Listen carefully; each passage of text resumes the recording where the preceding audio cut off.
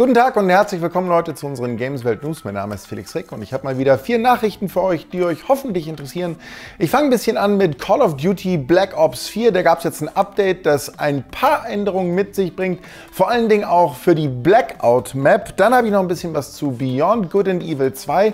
Da gibt es eine fast halbstündige Präsentation, wo man endlich ein bisschen mehr vom Gameplay sieht. Außerdem GTA Online hat ebenfalls ein Update erhalten mit einem neuen Spielmodus, der so ein bisschen an Mad Max erinnert. Und dann gibt es da noch Capcom mit Monster Hunter World. Die haben eine erste Erweiterung angekündigt.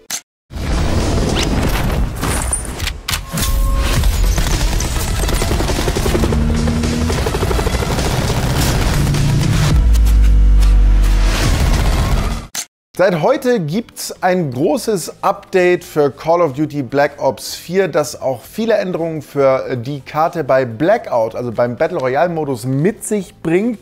Äh, zum einen wird die Karte hijacked, also das diese Yacht, die man von Call of Duty kennt, in die Blackout-Karte integriert, ist dann, glaube ich, im Nordwesten zu finden. Außerdem gibt es auch ein neues Fahrzeug, äh, das auch noch einen kleinen Geschützturm drauf hat, mit dem man dann ballern kann, also der zweite Spieler dann, äh, soweit ich das gesehen habe. Dann gibt es noch weitere Änderungen auf der Karte. Die Bäume sehen jetzt alle so ein bisschen herbstlicher aus, sind so rötlich, gelblich. Überhaupt ist das Feeling eher winterlicher. Generell soll an der Karte hier und da noch ein bisschen getweakt und geändert worden sein. Auch grafisch soll es ein bisschen besser aussehen.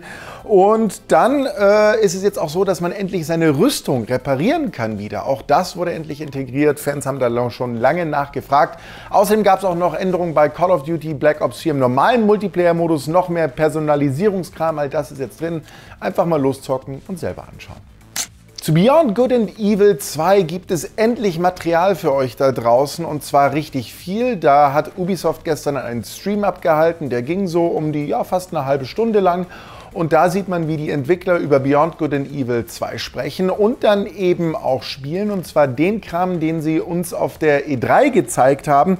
Und das sollte man sich wirklich mal reinziehen. Ist ziemlich abgefahren. Da kriegt man ein richtigen ähm, ja, Gefühl für die Größe dieses Spiels, weil man da erst in so einer Stadt unterwegs ist und dann in den Weltraum fliegt und dann sieht da diesen riesigen Planeten.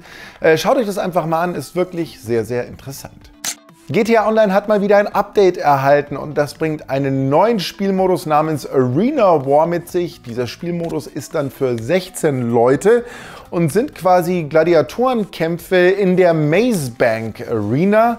Und da äh, kriegt man dann auch ziemlich abgefahrene Fahrzeuge an die Hand, mit denen man auch ordentlich ja, Krieg betreiben kann. Zwölf neue Fahrzeuge wurden da ins Spiel integriert. Und es gibt dann sieben unterschiedliche Spielmodi, die man dann äh, innerhalb dieses Arena Wars spielen kann, wie zum Beispiel Carnage oder Flag War. Ähm, ja, also man sieht schon, Rockstar, die geben trotz Red Dead Redemption 2 Online auch GTA 5 Online immer noch nicht auf. Capcom hat zu Monster Hunter World jetzt eine neue oder eine erste große Erweiterung angekündigt. Diese wird Iceborne heißen und soll im Herbst 2019 kommen. Ist noch ein bisschen hin also, ne? Es wird dann eine neue Schneegegend innerhalb des Spiels geben und storytechnisch ist das Ganze alles nach der Hauptstory des Spiels äh, angesiedelt. Äh, es soll auch ein neuer Monster Rank mit eingeführt werden, damit das Ganze wahrscheinlich noch fordernder wird. Aber man braucht natürlich das Hauptspiel, um diese Erweiterung spielen zu können. Weitere Infos soll es dann im Frühling nächsten Jahres geben. Das waren die Gameswelt News für heute. Ich bedanke mich fürs Zuschauen und wünsche euch noch einen wunderbaren Tag. Wir sehen uns morgen wieder. Ciao.